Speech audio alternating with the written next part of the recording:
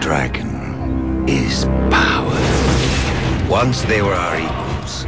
Today, humans control the dragon to race, compete, and fight at nearly 200 miles per hour.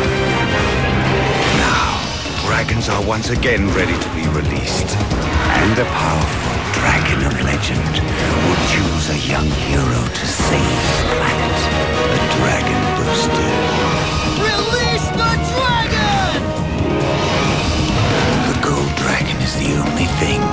stop me. I want that dragon!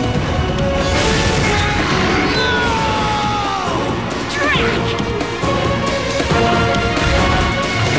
Control that dragon, you control the world.